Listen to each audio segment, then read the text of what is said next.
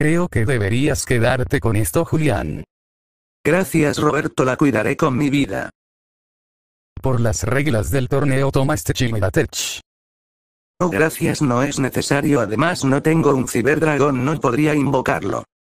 Ya había pensado en eso, así que también te regalaré un ciberdragón Nachster. Este toma el nombre de ciberdragón en campo o cementerio, así que no habría problema para no aceptarlo. Vamos. Además, son las reglas del torneo. Gracias, pero puedes enseñarme a usar fusión de contacto y a perfeccionarla. Claro, no hay problemas. Chicos. Duelo tan emocionante que envidia Roberto, yo también quería tener un duelo contra Julián. ¿Por qué no lo tienes ahora? La gente no se ha ido.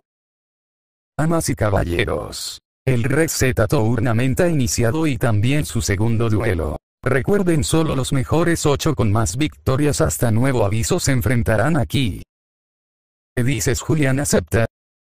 Claro que sí. Tú Joseph. Por supuesto no me perderé esto. Pero... Yo comenzaré invoco al Scott 003 por su efecto, invoco un Descode desde el mazo, traeré al Scott 002 cuando 002 es invocado de forma especial puedo añadir una carta de Scott a mi mano, será mi 004 el que añadiré. Terminó el turno. Robo invoco normalmente a mi constelacional Healing. Cuando es invocado normalmente puedo invocar desde mi mano un monstruo constelación, y el que invocaré será constelación Caos. Ahora activo santuario fotónico que me da dos tokens luz. Ahora activo el circuito con mis dos tokens. Y ilumino son amigo que está a la moda. Ven ilumina este duelo invocación link clase 2. Hipo sin Ingen. Ahora la habilidad de caos puedo subir un nivel a monstruo, y este efecto es dos veces por turno elijo primero a caos y luego al heavy. Ahora con mis dos monstruos de nivel 5. Overlight. Desde una galaxia lejana vendrá este guerrero estelar a ayudarme invocación rango 5 constelación Playades. Impresionante un Link y un Sith en tu primer turno. Si he estado entrenando ya sabes, para no ser un bolito de segunda. Habilidad de Orsi que todos los monstruos de luz ganan 500 de ataque y defensa. ¿Qué estrella desataca su 003? 003 puede hacer que cualquier Descode gane 500 de ataque por cada Descode en el campo, le daré ese poder al mismo 003. Ahora es tu turno si ataca 002. Buenas jugadas. Colocaré dos cartas boca abajo y terminó el turno. Y turno Rombo invocaré mi 004. Creo que te sirva activar la habilidad de Players, detachando un material si puedo devolver un monstruo a tu mano digo a 004. Ahora activo la escala 1 de 006 y la escala 10 de 005 oscila de lado a lado péndulo talla el arco de mi victoria invocación péndulo aparezcan mis dos 004.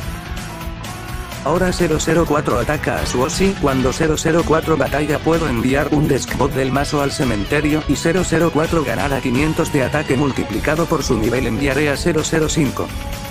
Cuando Osi es destruido traigo de mi cementerio a mi mano un monstruo de caos. Cuando 004 destruye un monstruo puedo invocar dos monstruos de Skbot de mi mano, y o cementerio traeré a 003 y 002 por el efecto de 002 puedo traer desde mi mazo una carta de Skbot traeré a 008. Ahora mi otro 004 ataca a Cleya desactivo su efecto, enviaré al cementerio a 007. Digo mi ahora no puedes destruir más monstruos. Colocaré una carta boca abajo y es todo. Robo invoco normalmente a mi constelacional Phoebe. Cuando es invocado normalmente puedo invocar desde mi mano un monstruo de constelación, y el que invocaré será constelación caos.